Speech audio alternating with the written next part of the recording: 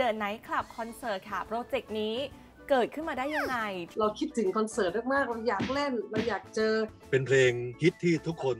รู้จักพวกเราดีเมเล่ทั้งหมดคือแดนเซอร์อีกต่างหากโอ้โหดูกันสนุกนะครับคราวนี้ครับแต่ทีนี้เนี่ยครั้งเนี้ยเราจะเล่นดนตรีให้กับกล้องฟังเป็นเรื่องค่อนข้างใหม่ แล้วเราเองเราเป็นคนรุ่นรุ่นเก่าไปแล้ว เที่ยวนี้เรานำมาฝากกันเต็มกระบุงเลยครับเราเน้นเต้นลำเราเน้นเต้นลำเพราะว่าวัยรุ่นอะครับมันก็เป็นอย่างนี้อะครับ